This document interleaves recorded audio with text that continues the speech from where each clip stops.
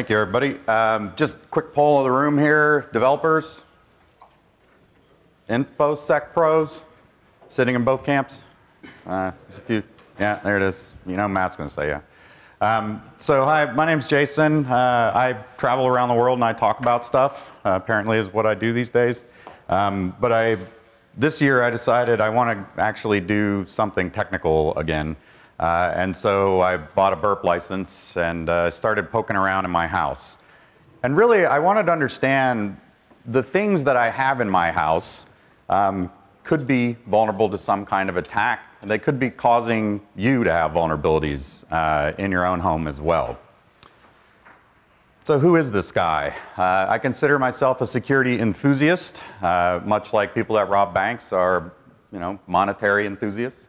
Um, I'm also uh, somebody that travels around a lot. I consider myself an airline and hotel enthusiast. Uh, I fly about every three days. Um, I, I, leave here and go to Germany, London, Abu Dhabi. Uh, that's next week, right? Like I, I, I, travel a bit.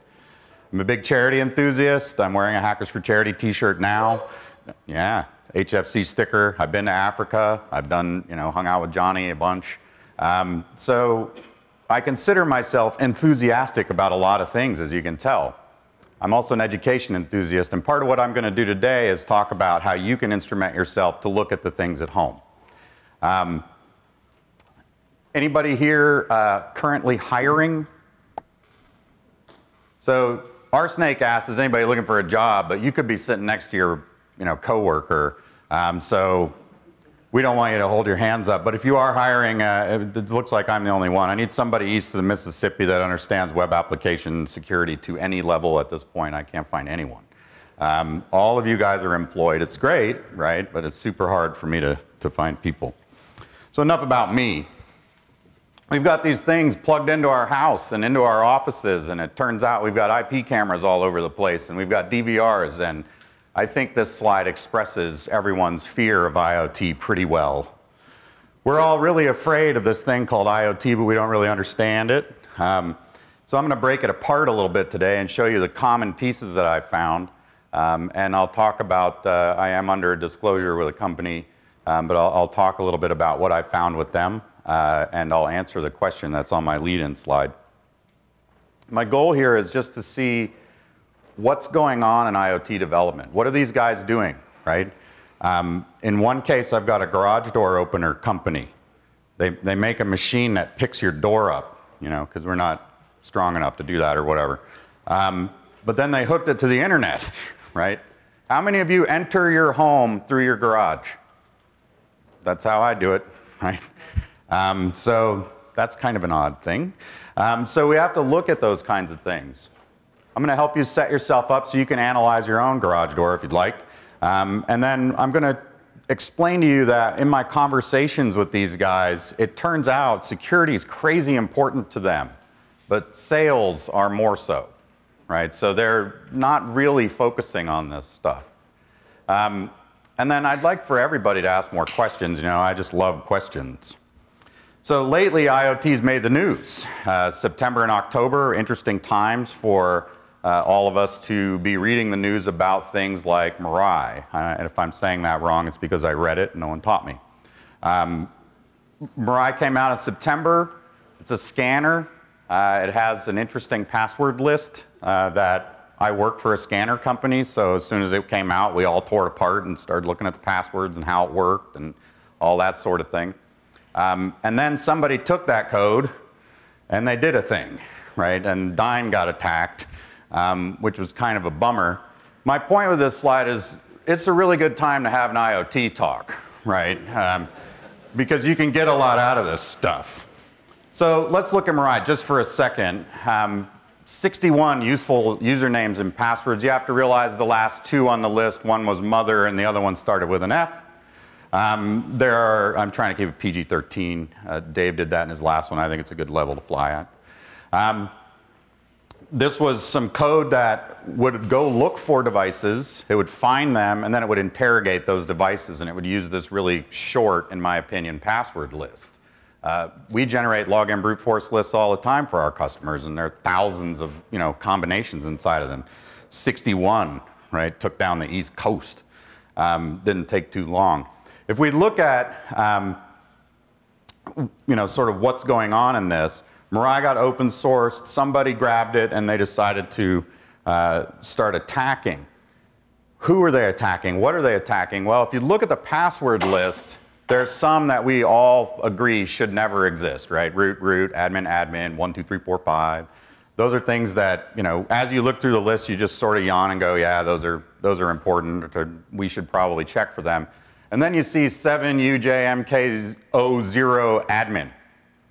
Well, that, that seems pretty interesting, right? So we may want to dig into that just a little bit. So what we'll do is we'll just throw it into a Google search, right? Q equals and the, and the passwords. Anybody guess what I'm going to get? Maybe Shodan. Anything else? I got a, a, a, link to a CCTV forum, right? Which seemed like a really weird thing until I read the title of the forum, right? And then I went, oh, that password is the default telnet password on some device. And since it's a CCTV forum and this thing is called Dahua IPC, it sounds like it's a Dahua IP camera, right? So Mirai dropped this list out, and I got to ask a question. Did anybody call Dahua and tell them that this thing is out there and we all know about it? No, we didn't. Dang it. Um, if you want to do a little bit more research on, on any of this stuff, uh, there's another password in here that looks fairly interesting to me. Uh, this doesn't look like some randomly generated thing. I haven't looked at it. I don't, I don't know what it is, but uh, if you guys want to go pull this up and try to tear it apart, um, it's probably a good idea. Hopefully this is the last time you have to look at this slide, but I'm sure you're going to see it uh, over and over and over again.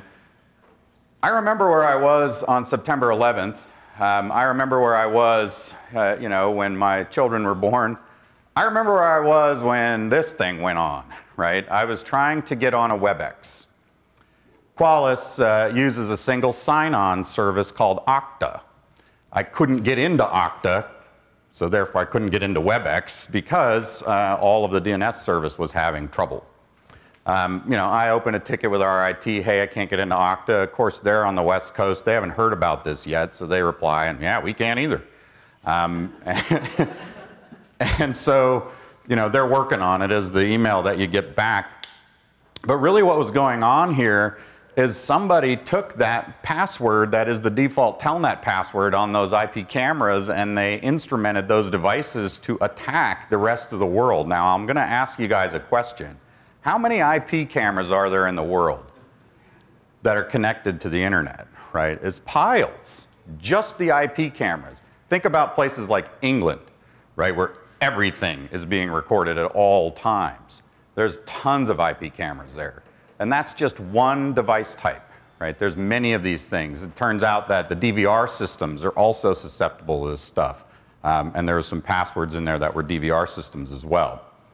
So what we need to do if we're working on IoT products or any product that we're plugging in, right, we need to follow a really simple never, ever, ever put the default passwords on. And most of the systems that you buy today, the default password is blank and it makes you put a password on before it functions at all, right?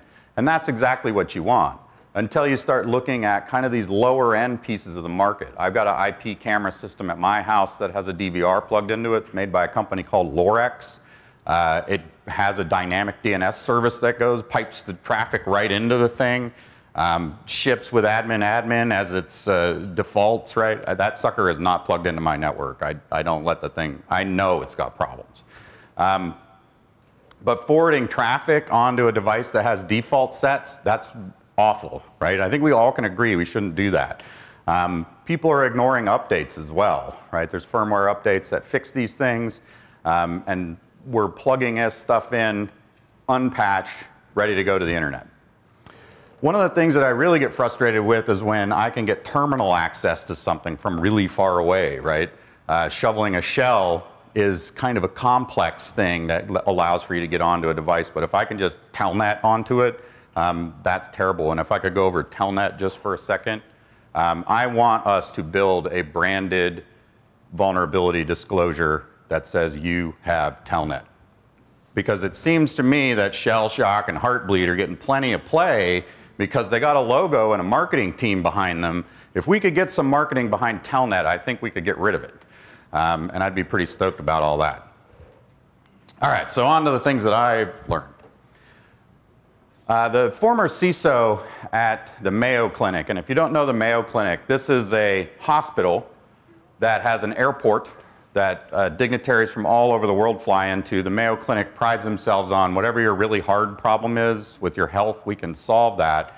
The massive airport, huge staff, tons of IT equipment.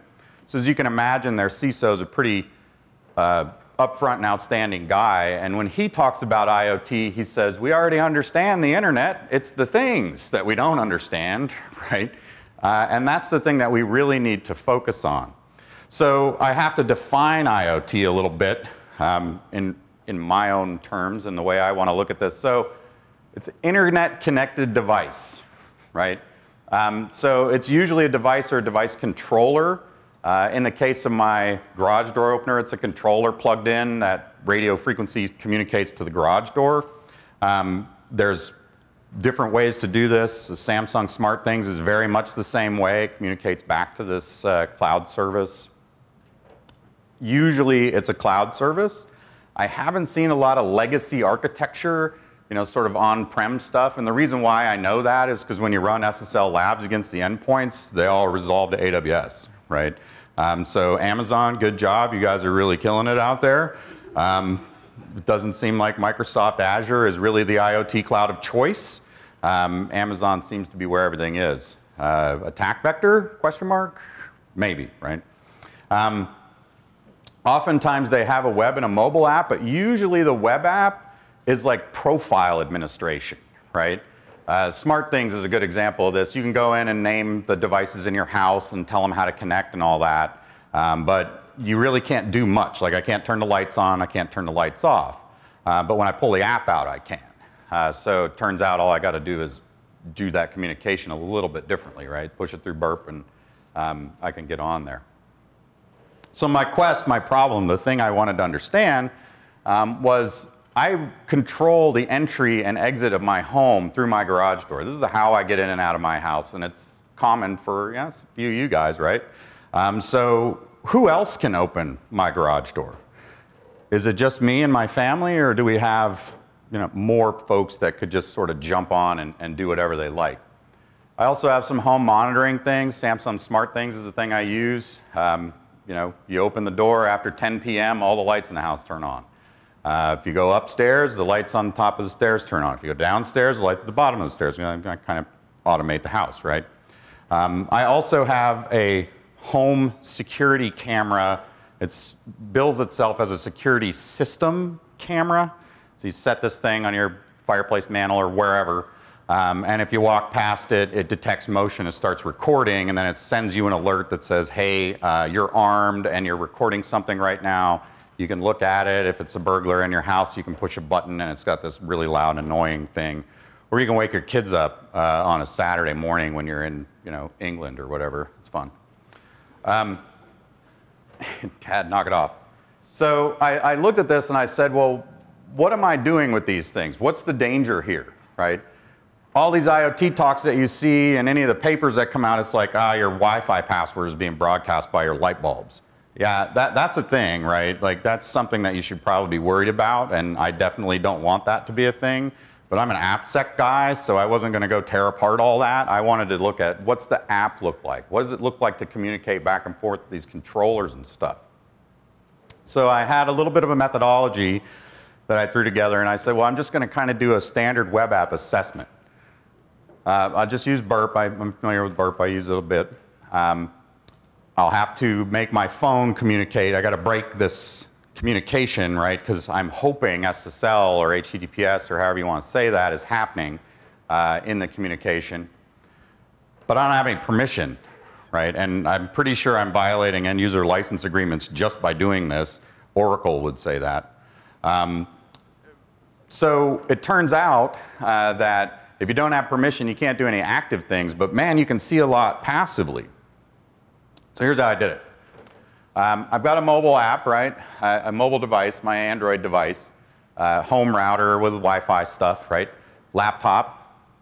Um, and then all I did was I went into Burp, and Burp has a setting that says listen on one interface, listen on all interfaces, what do you want to do? So I set it up to listen on all interfaces on port 8080. I went to my phone and said, you have a proxy, it's the IP address of my laptop on port 8080. This is how you're going to communicate. So everything I did would go through the laptop. It would snake through burp. As you can see, the AWS service is what we're going to be really communicating to. It's what the mobile app talks to.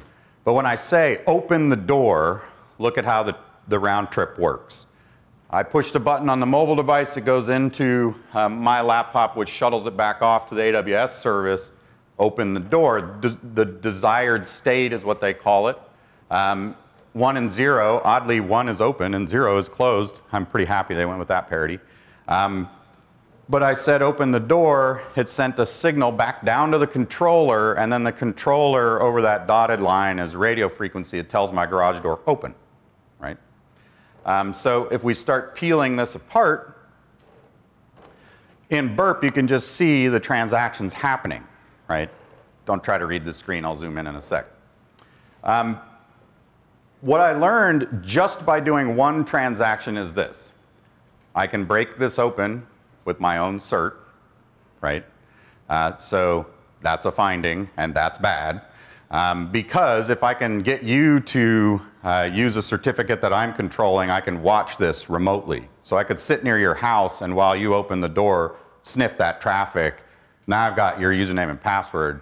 Or another way to say that is I now have the keys to your house. Right? I can go right through the front door, um, which happens to be the garage. My garage contains an old car of mine that I really love. I'd hate for you to take. There's a chainsaw in there, so if you need to get in, um, that's pretty easy. But who locks the man door between their garage and their house? Yeah, you just turn a knob and then you go, right? I don't even think I have a deadbolt on mine. Um, but I got all these cameras and dogs and guns, right? So. so I look at this communication stream, I find the API endpoints, uh, and figure out what they're doing, and, and I tear it apart a little bit. Really hard to read, but down in the post body, um, there's an attribute value, it's a one or a zero, and next to it, it says desired state, right? Um, so when I push the button to open the door, it sends a post message. In the body, it says desired state equals one, and the door opens, right? So as you can imagine, the first thing you do as a pen tester is you look at variables. Um, this variable seems to be the one that's changing to cause action to change. Uh, so I set it to zero. And I really hope that the door didn't shut. And it did. Um, as soon as I pushed go, it shut.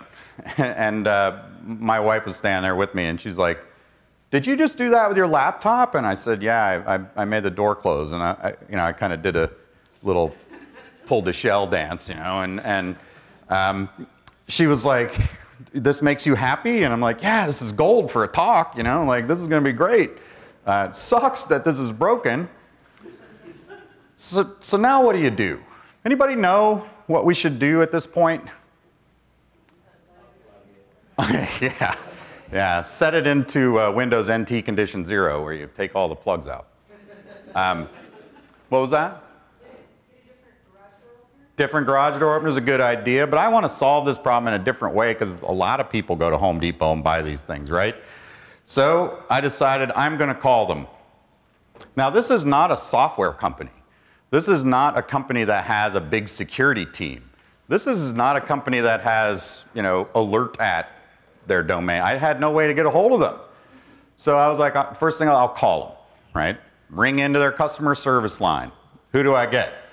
Hey, to set the pin on the outside of your garage door, the thing hanging on the wall, what you got to do is pull the battery out. They're like taking me through pin resets and stuff. And I'm like, no, no, no, you have a security flaw. And they're like, yeah, I got nothing, right? So it took me about two weeks of back and forth with these guys. Finally, there was a tweet that I'd sent that got someone to answer. Um, and I got a hold of one of their product managers, and he told me that they have never looked at it this way before. Right? How many of you are app developers again? How many of you have to go through some kind of security QA when you submit code? I'd be willing to bet it's several, right, of you. Pretty high percentage. Why did this work? Well, uh, it turns out it's because I can split the cert open, right, and they have no inner security communication. They don't have an inner tunnel, right? Um, it's, everything is predicated on the security of the cert that I have in the app, um, which we'll go over how do you replace the cert in an app in a second. But um, they didn't have any verification for the application state. They were counting on the cookies, right? If you send me the right cookies, then you're the right kind of connection. So up you go, right? And, and it opens the door. My next question then became, I noticed in the communication stream next to the desired state, there was a customer ID number. And I thought to myself, well, if I change that customer ID number, am I going to open some random person's door? Um, which is an interesting question until you apply the practicality of how do you know if a random person's door opened? You don't, right? So what you do is you call all your friends and say, hey, do you have XYZ garage door? Um, and one of my friends in California has the same setup, right? And I was like, sweet, we got to set up burp. We got to go get your customer ID. I threw his customer ID into my session that was active and hit go, and it didn't open. And it was a bummer, right? That was a real bummer because I really wanted to write a Python script that just iterated through all the, the session IDs and just opened doors. Like it would have been the best thing. Um, but that, that level of shenanigans was not to be had. Um, so I wasn't able to do any kind of horizontal privilege escalation here, but the, and the thing that I brought to the, to the company was there was also no penalty for me submitting the wrong customer ID against an open session, right? They should have been doing a comparison amongst the session tokens that I had valid for my account and knew that my customer ID is not the one that I was playing with. Um, and it should have penalized me in some way, logged me out of the app, logged him out of the app, whatever. Uh, but it didn't. He just stood there and opened the door and closed it, and then I tried it, didn't work, and he opened and closed it again. No authentication, no retries, nothing like that. Um, that would have been a little bit better way to do that. Remember, I told you that all of their security was predicated on the cert, right? So uh, fired SSL Labs at this thing. If you haven't used SSL Labs before, it's a free tool that we produced um, and allows for you to look at your, not just the certificate, but the implementation of the certificate. How's your server set up? What ciphers are you allowing? And all that kind of thing. So here you can see they got a B, um, which isn't what we strive for. They're using RC4, uh, which in SSL Labs is an immediate, you can't get an A. Um, you know, you didn't show up to every class or whatever, right? Um, so it ended up so that we um, could break in, but uh, their security on their cert wasn't that great. So I'm in the middle of a disclosure with these guys. It took me forever to get to a product manager. And I sat down in a meeting with these guys and I said, here's how I did it. And they said, all right, well, we're going to try to do that. So the guy went and bought Burp. Uh, so Daf owes me money now. Um, and then he tried it and said, yes, you're right. But that cert thing, that's, that's tricky. It would be hard to get somebody to use your cert in a communication. The InfoSec pros in the room, does that sound valid? No, right? Um, and he was like, well, how would you do this? You know, tell me about this attack. How would this attack actually work? And I said, well, I've got a Wi-Fi pineapple, and it broadcasts ATT Wi-Fi as its signal. Um, and I can sit near your house, and as you drive down the driveway, you're going to connect to Wi-Fi the one that's near you, so mine.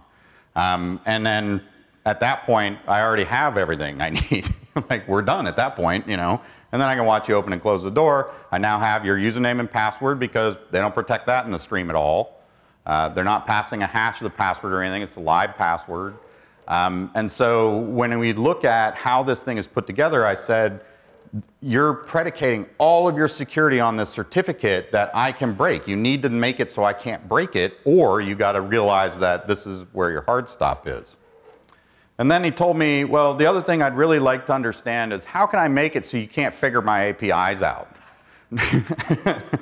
Because if I could do that, then none of this matters, right? Like if, you, if I can't figure this out. And I said, well, this is web traffic. You, you're always going to have to have the endpoint. It's got to route through the internet. Like that, that question seems a little invalid.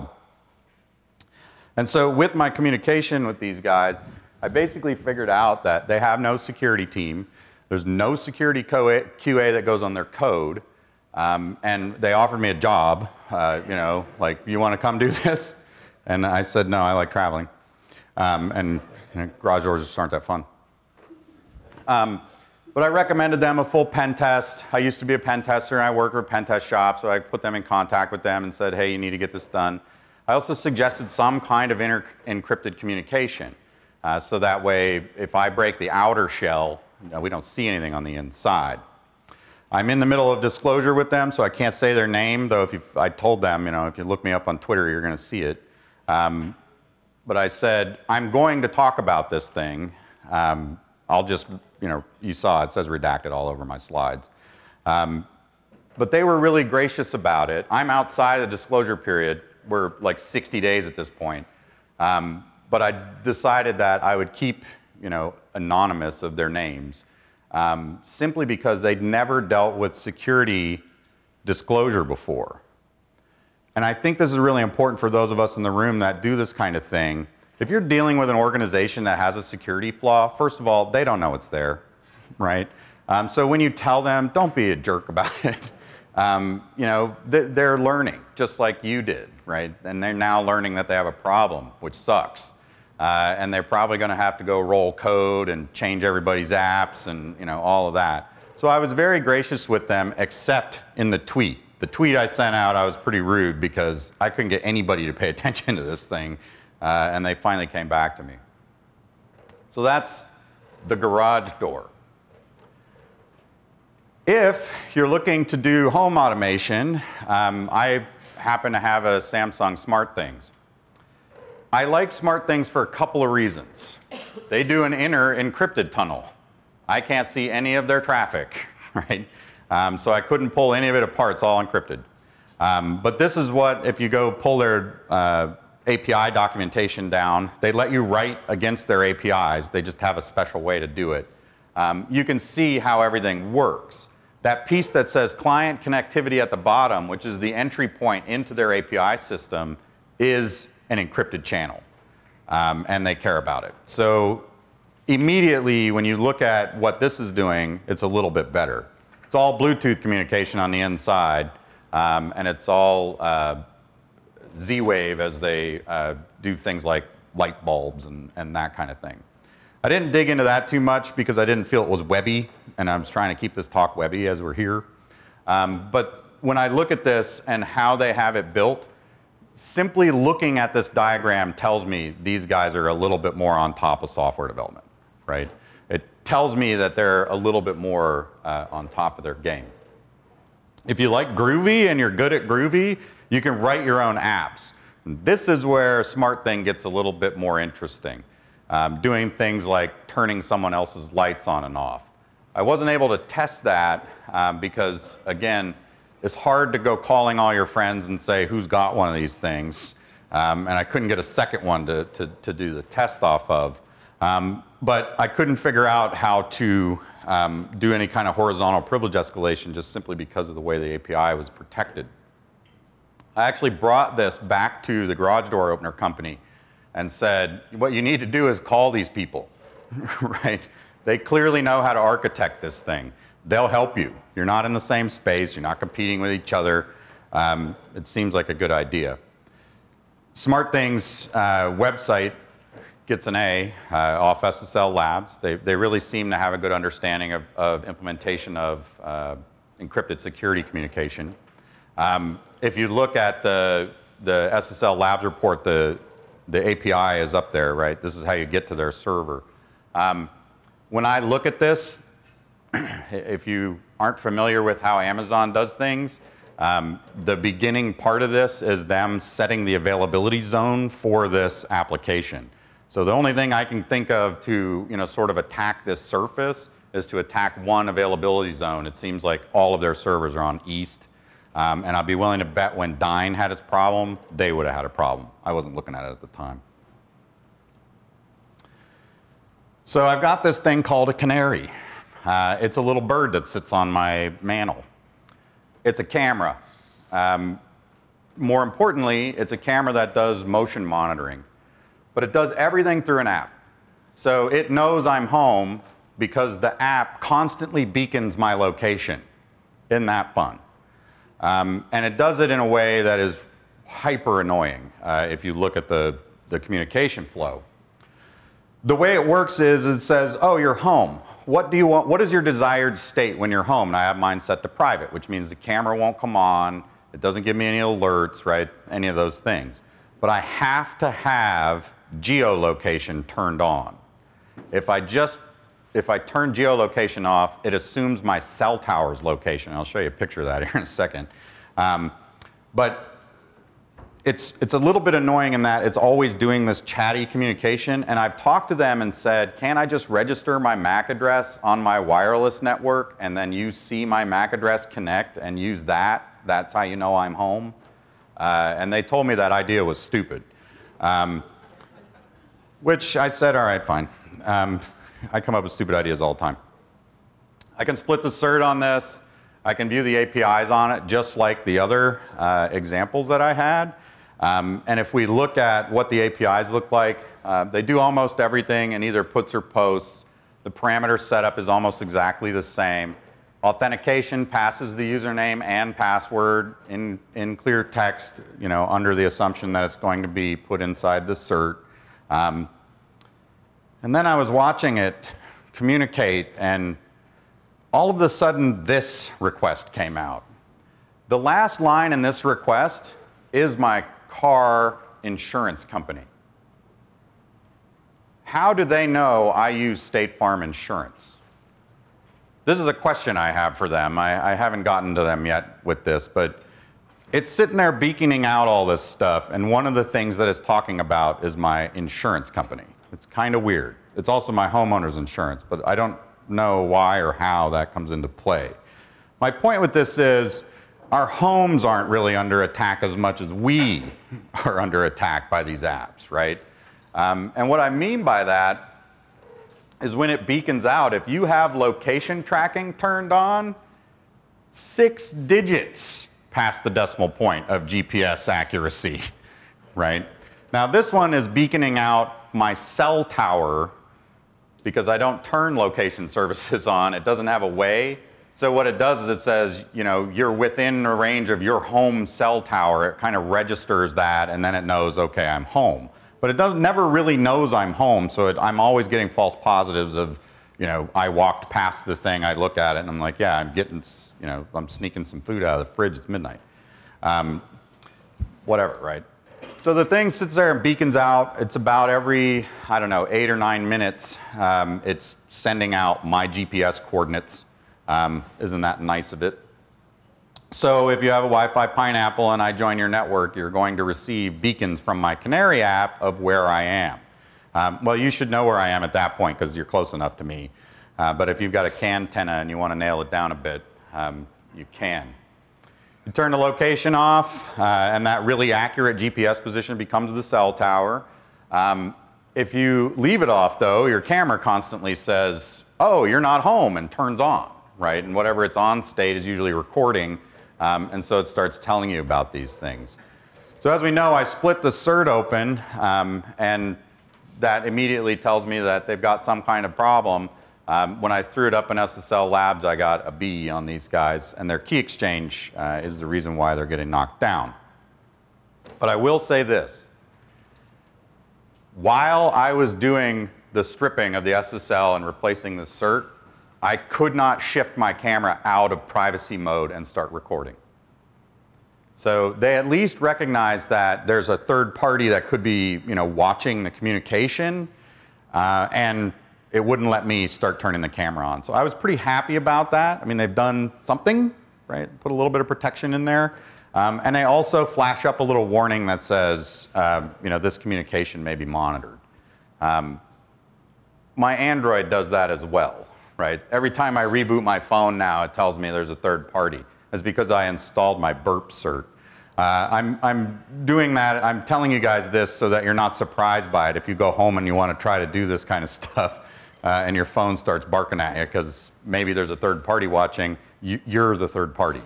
Uh, it's the cert that you installed. So the title of my talk had to do with being home. Uh, for me, my home about 200 nights a year is probably some Hilton somewhere. Um, I fly around a lot and stuff. And Hilton came out with this thing called a digital key, right? Akin to the garage door opener, um, you use an app to open the phone, to open your door. The app actually uses Bluetooth to tell it, tell the door open, right? So if any of you guys are Bluetooth hackers, please go get a room at a Hilton and do this because I really want to know.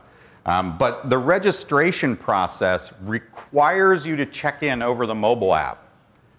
So when you go to do the check-in, it's going to say, what room would you like? So you tell it, I would like this room. See where it says room requested? It also says, do you want to park a car? And I said, yeah, I got to park a car. Well, here's how much we're going to charge you. Could anybody think of a way that I might manipulate this request so that I might not have to pay so much money for anything? Can you imagine if I made that minus $1,000, right? So one of, two of my employees are sitting here, Frank and Dave, and, and Frank asked Hilton this question several months ago. Six months. six months ago, he said, has anybody looked at the security of this thing? And the CISO came back and said 94% of our guests could care less, basically. Um, I care, and it turns out I'd be willing to bet the local Hilton would care if I were to submit a negative $1,000 parking charge per night uh, and show up with, you know, we owe you $5,000 for your stay, you know. Um, I, I, think it's something that they would care about, and I think it's something that the CISO would, would you know, sort of turn down the whole, nah, it's fine, everybody loves this thing. It's a little bit annoying, this digital key thing is a little bit annoying because uh, then it becomes this thing that you have to make work all the time. So I got to get the elevator to go up. Stupid, lift the, and then the Bluetooth for the elevator next to it is the one that it's signing to, and it, you know, I can't get it to work. Parking garage, push the button, and you want the gate to go up, and the other one goes up. Um, these are all problems that I've had with it. But if you want to tear apart this Hilton digital key thing, it is a lot of fun uh, to have a good look at. Additionally, uh, because I travel so much, I rent cars an awful lot, uh, and National Car Rental has a similar thing. Hey, you can check yourself out. Isn't that cool? Uh, and they put a QR code on the outside of the car, and you say, I'm standing in front of the car I want, and it says, all right, take a picture of the QR code, and you hold your phone up to it, and it, it dumps, this is the uh, URL that comes off this QR code. It's a, it's car's outside. It's a Hyundai Santa Fe. I think 6LS2 is the color because it tells me white later, um, and that, that's not in this. Or it's picking it out of the VIN. Does anybody want to go generate a few QR codes and see what we can do with this? I'm wondering if we were to repeat this same QR code, if it would really cause a tremendous amount of shenanigans with their systems, right? Everybody's trying to check out the same car. I'm sure it would say that car's checked out and it would just give an error. But uh, if you put those on every car in the parking lot, it would you know, sort of screw their system up. And can you imagine trying to troubleshoot that? Because you'd scan it and it, it, works, you know, once. uh, it just never works again. Um, so what if 30 cars had the same or all of them? shenanigans are possible. Um, and these are the kinds of security implications that we don't see people caring about, right? Hilton doesn't care that I can maybe submit a negative amount for the amount of parking that they're going to charge me. And I'd be willing to bet that National doesn't care really about all the stuff that comes out of this. I think what they were trying to do with that scan the QR code thing was allow you to rate the car.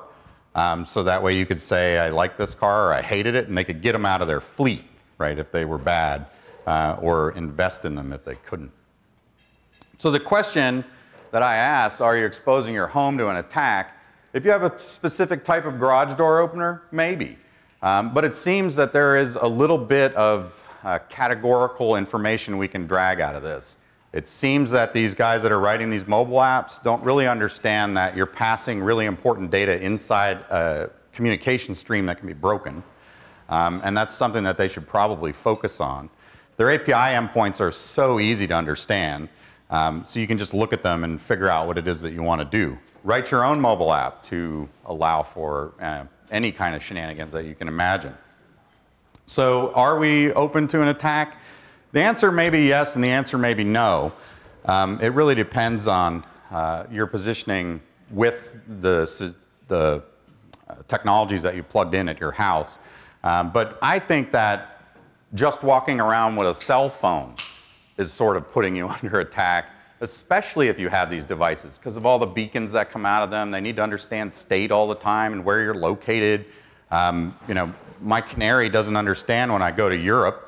It just really doesn't get it. You know, I'm so far off the GPS grid that it's confused and it tries to turn on all the time turn off. I've complained to them about it a bunch.